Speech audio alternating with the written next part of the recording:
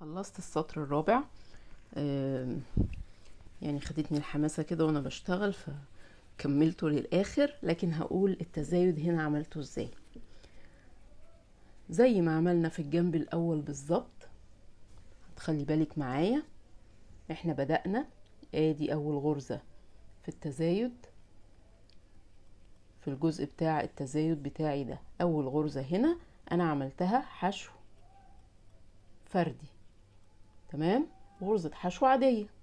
الغرزة التانية هي اللي فيها التزايد. غرزتين. كل مجموعة مجموعة يعني غرزتين اللي هم طالعين من الغرزة الأولانية اللي أنا عملتها عشان عملت هنا في السطر ده السطر ال ال الأول. غرزة وطلعت باتنين وبعدين طلعت الاتنين دول هعملهم تلاتة. قاعدة التزايد بتاعتنا. غرزة بتطلع اتنين وبعدين بيطلعوا تلاتة والتلاتة بيبقوا أربعة والأربعة بيبقوا خمسة كل سطر بنزود غرزة. طيب هما هنا كانوا اتنين. وعندي ست مجموعات اتنينات كده. هشتغل فيهم إزاي؟ أول مجموعة يعني أول غرزتين هشتغل واحدة حشو عادي وواحدة تزايد. واحدة حشو عادي وواحدة تزايد. واحدة حشو عادي وواحدة تزايد. آدي تلات مجموعات اللي هم نص التزايد بتاعي. طب النص التاني هشتغله إزاي؟ وأنا عندي آه، في رسمة وفي ألوان تانية بغير لها. بعد ما وصلت للنص بتاعي النص التاني قلت إيه؟ زي ما عملت في الجنب التاني بالظبط. هعكس ترتيب الغرزة والتزايد علشان أنهي الجزء ده بغرزة حشو زي ما بدأته. تمام كده؟ طيب هنا هعمل إيه في الجزء اللي بعده؟ ببتديه بواحدة تزايد وبعدين غرزة حشو. أدي أول مجموعة. هنا عندي في الكحلي لما أغير اللون في مجموعتين. واحدة تزايد وواحدة حشو. واحدة تزايد وواحدة حشو. غيرت اللون وبدأت مع ال- الكحلي بتاعي. في أول غرزة كحلي هنا عملت واحدة تزايد. الغرزة التانية عملت فيها غرزة حشو عادية. الغرزة التالتة عملت غرزة تزايد. الغرزة الرابعة عملت غرزة حشو عادية. يبقى أنا كده عدد ال- اللون الكحلي معايا مظبوط عدد التزايد معايا مظبوط. تمام؟ ما غيرتش فيه أي حاجة. وكملت بقية السطر زي ما إحنا ماشيين بالظبط من غير أي آه، آه، مشاكل. آه، ستة أصفر ستة كحلي اتنين بطيخي وارجع أقفل المثلث بتاعي ده بستة كحلي وارجع أبتدي تاني ستة أصفر ستة كحلي وهكذا لحد نهاية السطر بتاعي. طيب وصلت لنهاية السطر؟ هبتدي في السطر الخامس والأخير. هنعمل فيه إيه السطر الخامس؟ بداية الرسمة معايا مش من بداية السطر صح؟ أنا بداية السطر عندي هي التزايد. بداية السطر عندي هي التزايد وبعدين الرسمة. بتبدأ التزايد هو أول السطر بتاعي. طيب التزايد في السطر ده هنعمله إزاي؟ أدي آخر غرزة عندي أنا اشتغلتها. العلامة بتاعتك ما تنسيهاش في أول التزايد ونهايته علشان ما تتلخبطيش وتنسي وخصوصا في الجزء اللي هو نفس لون الأرضية بتاعت الحزام.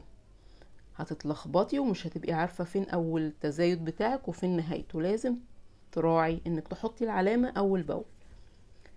السطر الخامس التزايد بتاعنا إحنا عملنا في السطر اللي فات غرزة حشو وغرزة تزايد. عندي تلات غرز في كل جزء. كل مجموعة عندي فيها تلات غرز. طيب هعمل فيها إيه؟ تلات غرز. أنا هعمل أول واحدة تزايد. معايا؟ أول غرزة هي اللي تزايد. والغرزتين التانيين حشو عادي. أهو.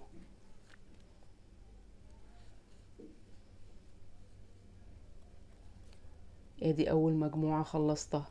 المجموعة التانية. أول غرزة تزايد. والغرزتين التانيين حشو عادي.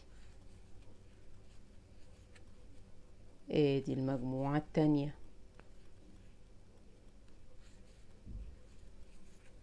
المجموعة التالتة. أول غرزة تزايد يعني غرزتين حشو في نفس الغرزة. والتانيين الاتنين التانيين غرزة حشو عادية وغرزة حشو عادية في اللي بعدها. أنا كده خلصت كام مجموعة؟ أنا كده خلصت تلات مجموعات اللي هما نص التزايد. هعمل إيه في النص التاني؟ عاوزة أنهي التزايد بتاعي باتنين تزايد زي ما بدأته.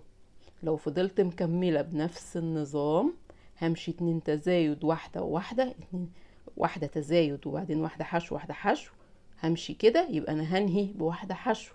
لأ طب أعمل إيه؟ أقلب الترتيب بتاعي من عند نص التزايد بتاعي هنا.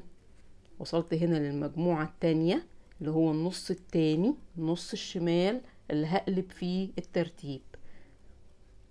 أنا بعمل إيه؟ واحدة تزايد واحدة حشو واحدة حشو. هبتديها إزاي؟ تمام هبتدي بواحدة حشو واحدة كمان حشو والأخيرة هي اللي تزايد. معايا في الحتة دي؟ عايزاكي تركزي فيها وتفهميها عشان ما تتوهيش. دي المجموعة الأولى. المجموعة التانية هنشتغلها إزاي؟ زي دي. واحدة حشو عادي. واحدة حشو عادي. وبعدين واحدة تزايد.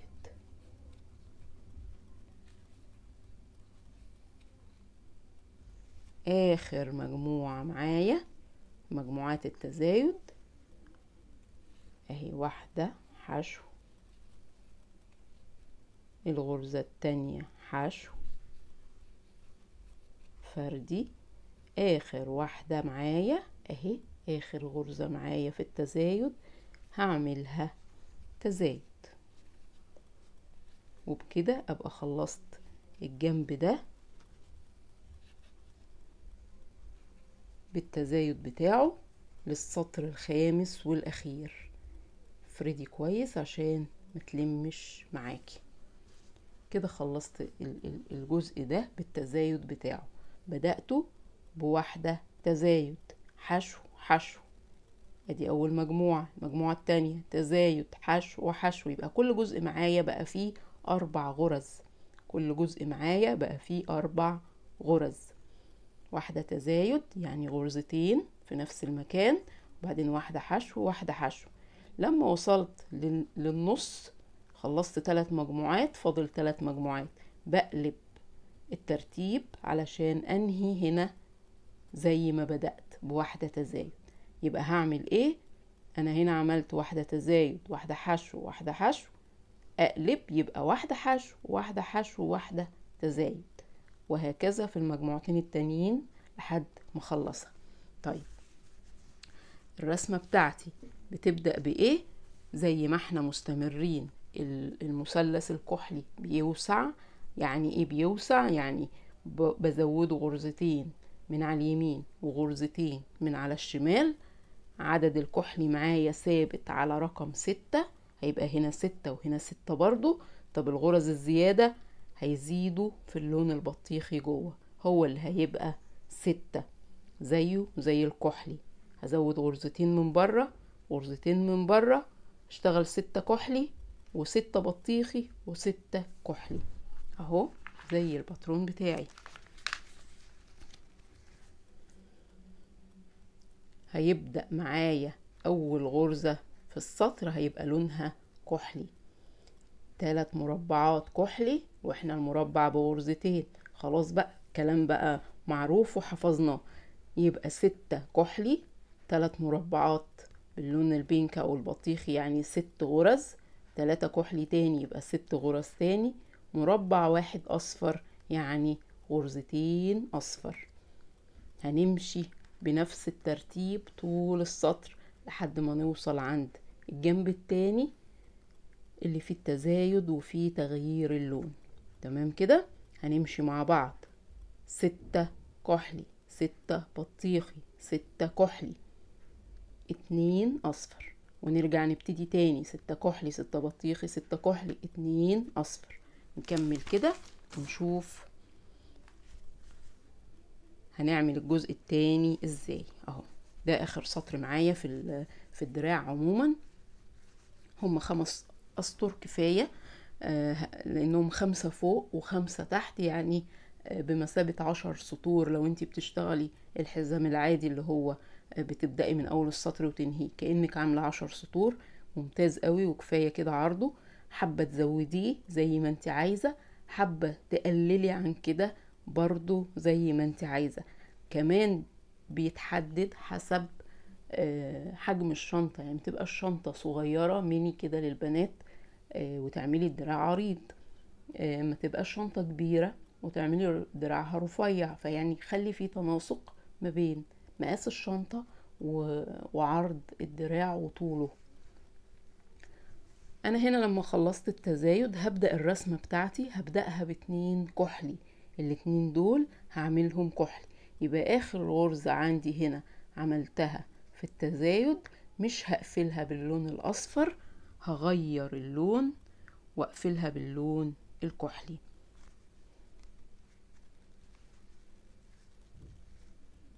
أغير اللون للون الكحلي يبقى أقفل باللون الكحلي. هبدأ غرزة كحلي اتنين. هعمل كام كحلي؟ هعمل ستة كحلي. هعمل ست غرز كحلي. تلاتة. أربعة.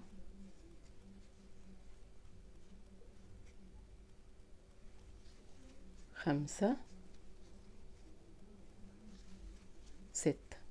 خلصت الستة الكحلي هعمل إيه؟ هغير للون البطيخي.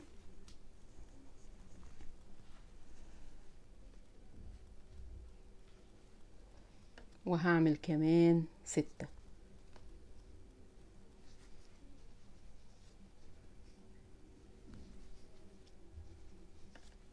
اتنين.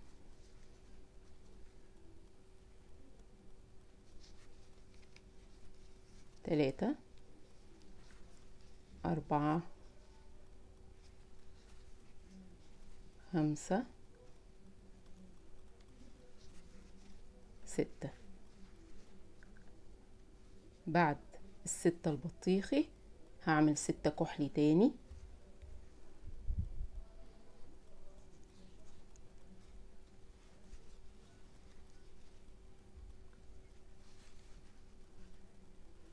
دي واحد اتنين.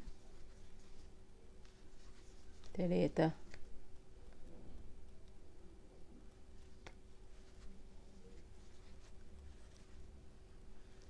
أربعة.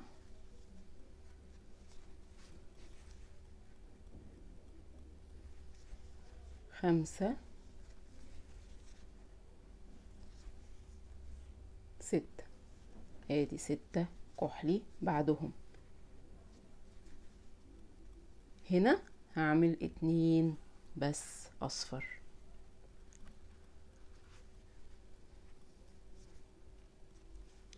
اتنين اصفر. ده اللون الغامق.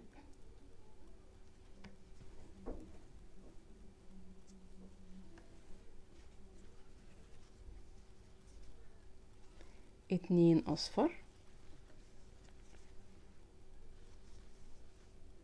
وبعدين أرجع أجيب الكحلي تاني.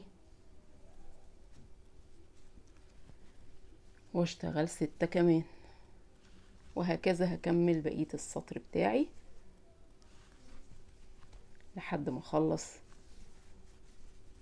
الجزء ده وأوصل للجنب التاني. نيجي نشوف التزايد هيبقى إزاي. وصلنا للجنب التاني. التزايد اللي في الجنب التاني. أنا خلصت الجنب ده كله أهو. نيجي للجنب التاني. زي ما عملنا التزايد في الأول بنعمله هنا. عملنا إيه؟ نراجع كده تاني مع بعض. أنا خلصت أهو الجنب ده. وصلت لأول غرزة تزايد عندي أهي. كده واضحة.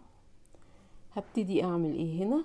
أول غرزة عملناها عملناها تزايد صح الكلام؟ عملنا أول واحدة تزايد وبعدين عملنا غرزة حشو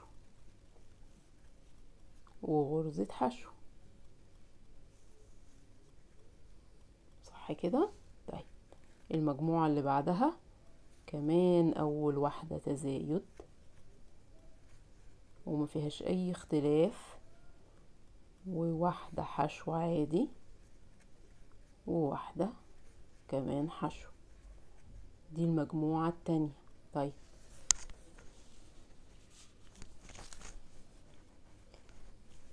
المجموعة التالتة. هنعمل نفس الترتيب بتاعنا. أول واحدة تزايد. وبعدين واحدة حشو وواحدة كمان حشو. كده خلصنا تلات مجموعات من التزايد بتاعنا. طيب المفروض هعمل إيه؟ هقلب الترتيب بتاعي. هقلب الترتيب أو هغيره هشتغله بالعكس. إزاي؟ المجموعة التانية اللي هي على الشمال هشتغلها واحدة حشو. عادي. واحدة كمان حشو عادي. وبعدين واحدة تزايد. هقفل الغرزة؟ لا. ليه؟ أهو أنا هغير اللون هنا. يبقى أقفل باللون الكحلي. غيرنا للون الكحلي. طيب هنعمل إيه في تزايد المجموعة التانية؟ زي ما إحنا قلنا. بنبدأ بواحدة حشو.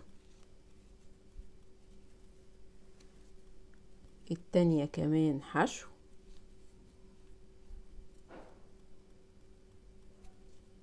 والتالتة تزايد. طيب أنا لازم آخد بالي من إيه؟ لازم آخد بالي من التزايد بتاعي. يبقى في مكانه مظبوط زي بقية المجموعات. دي حاجة. تاني حاجة آخد بالي من تغيير اللون وعدد غرز كل لون. منساش واشتغل الكحلي واجي ألاقي نفسي ما اشتغلتش اللون البطيخي بالعدد المطلوب.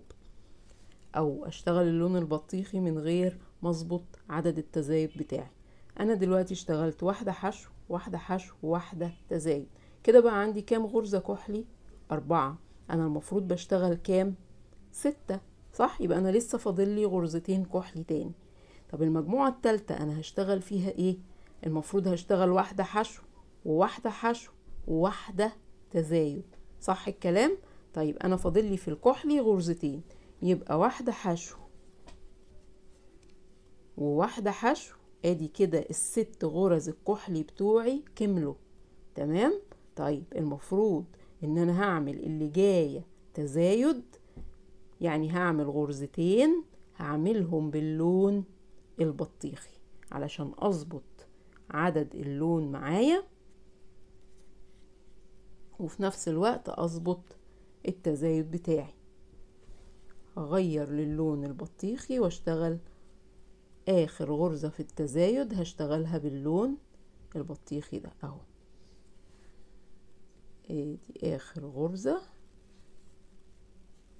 وهشتغلها تزايد باللون البطيخي. طيب هعمل إيه بعد كده؟ خلاص أنا كده خلصت التزايد بتاعي. همشي طبيعي في بقية الرسم البطيخي ده؟ المفروض ست غرز. أنا عملت واحدة تزايد يعني غرزتين. هشتغل كمان أربعة.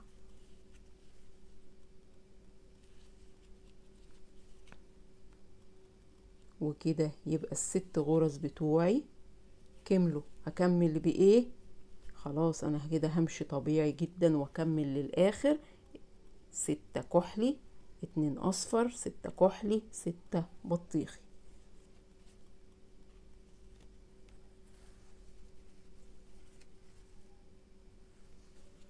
وإنتي بتشتغلي. راعي إنك تفردي الغرز كويس علشان ما تلمش منك ويفضل الدراع معاكي مظبوط ومفرود. كده هكمل بقية السطر بنفس النظام زي ما قلنا. خلاص مفيش تزايدات تاني وده آخر سطرة معايا. خلصنا التزايد هنا وظبطنا الرسمة ظبطنا الكحلي وظبطنا اللون البطيخي. هنشتغل ستة كحلي اتنين أصفر ستة كحلي ستة بطيخي وهكذا. ونكمل بقية الجنب زي ما عملنا الجنب الأولاني. هنكمل ده زي ده ونيجي نشوف هننهي السطر. خلصنا الجنب بتاعنا وجينا نشوف هنقفل إزاي الدراع. قبل ما توصلي لنهاية السطر بكام غرزة؟ بالجزء ده. بعد ما خلصنا الرسمة وفي الجزء السادة ده هنبتدي نعمل إيه؟ هنبتدي نخرج الخيوط اللي إحنا كنا بنشتغل فوقها. الخيوط اللي كنا مدخلينها جوه الشغل اللي بنشتغل بيها اللي هي تعتبر الداعم بتاعنا. هنبتدي نخرجها واحدة واحدة علشان السطر ما يقعش مني مرة واحدة. طيب هعمل إيه دلوقتي؟ هاخد مسافة كده هسيب مسافة تسمح إن أنا أدخل الخيوط دي أداريها ورا في الدراع من ورا بعد ما أخلص يعني مسافة مثلا عشرة سنتي تقريبا وهقص الخيوط بتاعتي. تمام؟ طيب هعمل إيه بعد كده؟ هبتدي أطلعهم لون لون. يعني اللون الأصفر الغامق ده هخرجه أهو. بخرجه إزاي؟ بطلعه بره الشغل بمسكه بإيدي هنا أهو قدامي أهو. بطلعه بره وباخد معايا إيه؟ أهو اللون الكحلي واللون البطيخ الكحلي والبطيخي أيوه هما دول الاتنين بس اللي معايا مع الأصفر اللي أنا شغالة بيه. هشتغل إزاي؟ هشتغل غرزتين حشو عادي على اللونين اللي معايا. تمام كده؟ طيب. هعمل إيه تاني؟ غرزة كمان. وبعدين هطلع لون تاني من اللونين اللي معايا. هطلع الكحلي أهو. هخرجه بره. وبعدين همسكه بإيدي زي ما عملت في اللون اللي قبله. أدي اللون ده خرج خلاص. ده مش معايا. هخرج الكحلي كمان. طلعه بره. أسنده بإيدي كده بإيدي دي. وهنا باخد اللون بس اللي فاضل. هشتغل عليه كمان غرزتين تلاتة.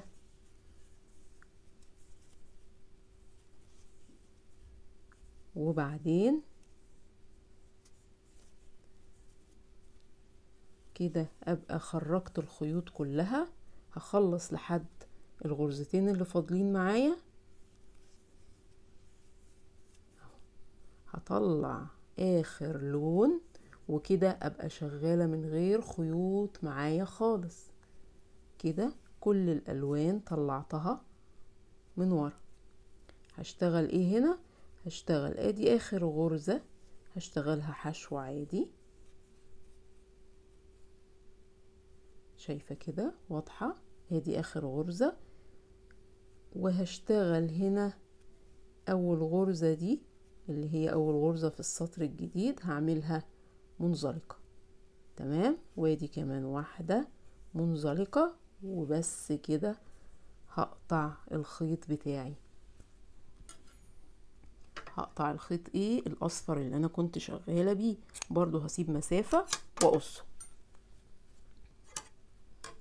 وبعدين هسحب الخيط واجيب إبرة التنظيف بتاعتي وابتدي أدككه في الشغل من ورا هو وباقي الخيوط الزيادة اللي عندي دي هبتدي أتخلص منها. إزاي؟ بإني هلضمها في إبرة التنظيف وبدخلها زي ما بنعمل وزي ما شفنا في فيديوهات كتير قبل كده من اللي إحنا قدمناها بندخلها بين السطر بين الغرز علشان ما تبقاش باينة معايا. مسافة كده تكفي إن هي تبقى في الأمان ما تطلعش تاني وبعدين بقص الزيادة تمام كده؟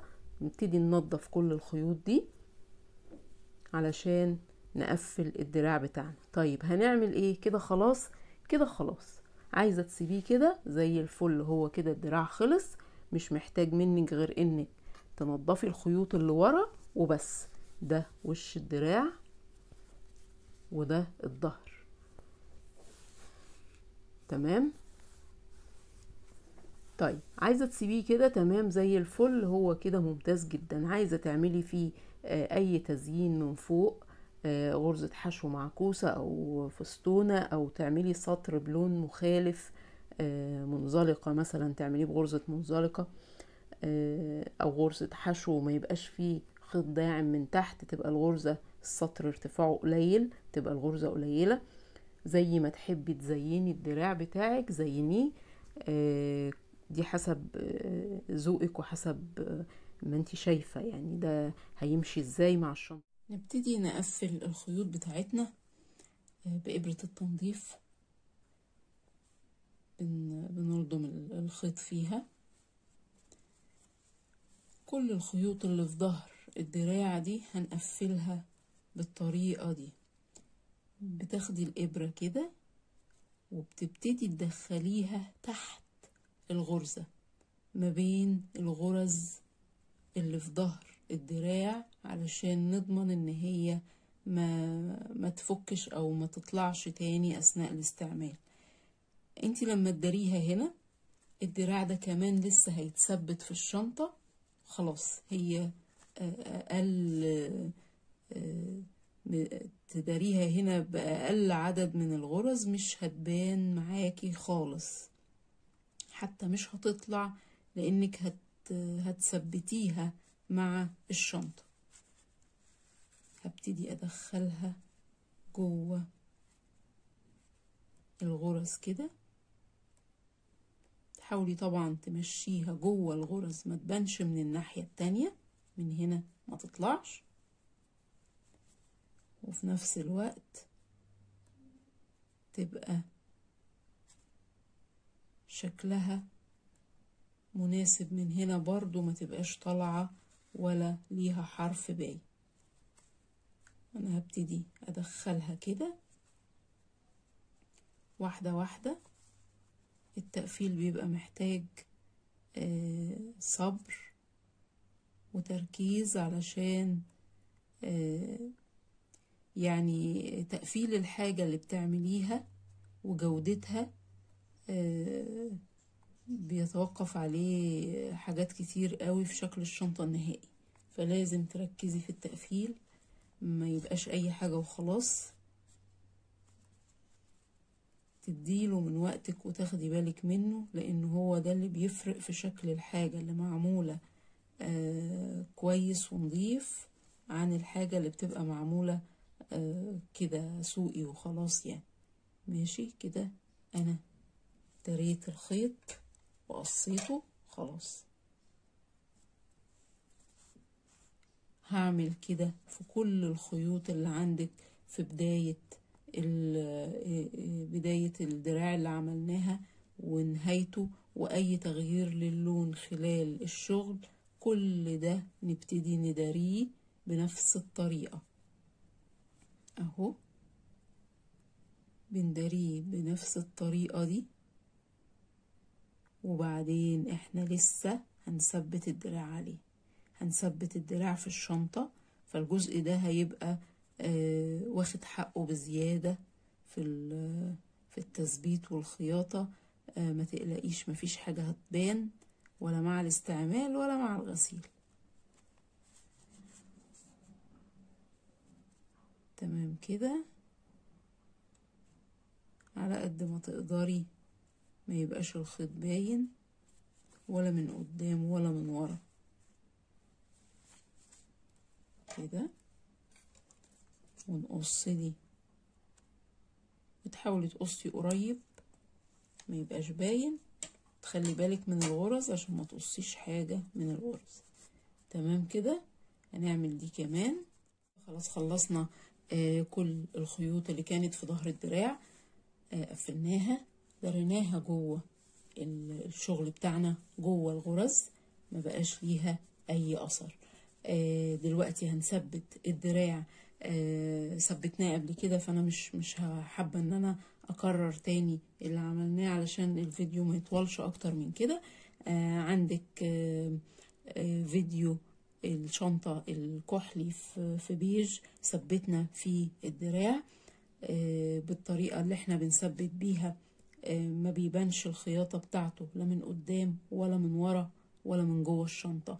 آه في كمان فيديو كنت عاملة نموذج لدراع صغير ومثبتاه طريقة التثبيت نفسها عملته. كان فيديو لنموذج مصغر مش شنطة لكن تجربة للتثبيت. برضو ممكن تشوفيه. ده كويس. يعني أنا هسيب اللينك بتاعهم في صندوق الوصف تحت. بكده نكون خلصنا الدراع بتاعنا بالطريقة البيضاوية. أتمنى يكون الشرح واضح ويكون شكل الدراع عجبكم. ممكن نطبق ده على أي رسمة عايزة تعمليها للدراع هنمشي زي ما مشينا في الفيديو ده إزاي قسمناه من النص علشان يبقى اللي فوق زي اللي تحت بيكمل الرسمة.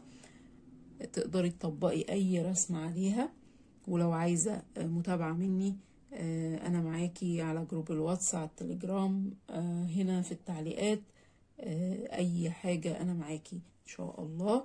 أشوفكم على خير بإذن الله في فيديو جديد لتكملة تقفيل الشنطة وتركيب السوستة علشان نبقى خلصنا الشنطة البيضاوي وخلصنا الفيديوهات اللي ناقصة فيها. أشوفكم على خير. والسلام عليكم ورحمة الله وبركاته.